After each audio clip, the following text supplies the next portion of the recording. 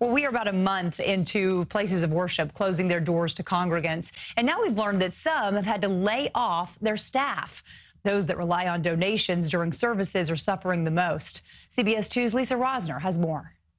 From crowds filling the pews to the choir preaching to an empty Canaan Baptist Church on West 116th Street in Harlem.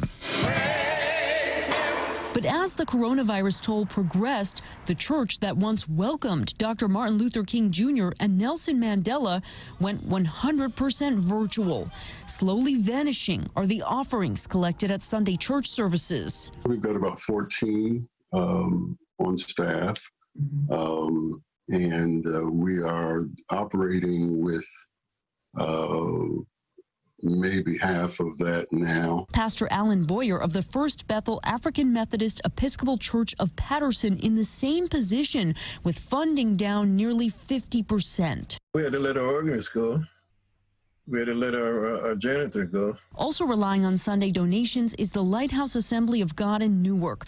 Pastor Pablo Pizarro heads the Christian Pentecostal Church and says there's been no cuts, and he's trying to multiply the messaging. But we want to pray for your families.